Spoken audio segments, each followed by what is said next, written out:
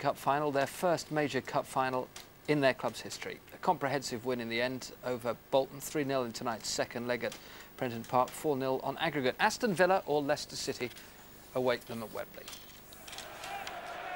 Prenton Park was full to capacity.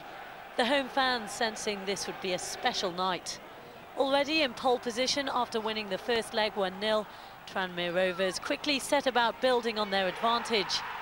Nicky Henry blasting the home side ahead after just six minutes. Tranmere blitz Bolton with a ferocious first half assault. Wanderers keeper Steve Banks was relieved to see Alan Mahon's effort hit the crossbar.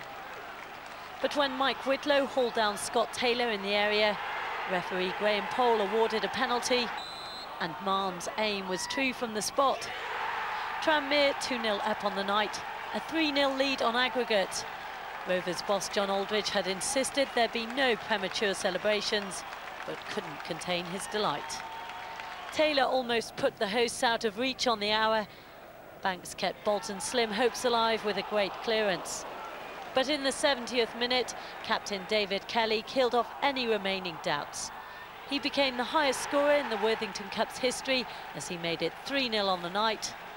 4-0 on aggregate, Tranmere were on their way to Wembley.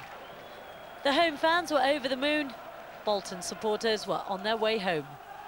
John Aldridge had been on the verge of resigning as manager when Tranmere lay rooted to the foot of the First Division in September. Four months later, he's masterminded their trip to the Twin Towers. Tara Stout, Sky News.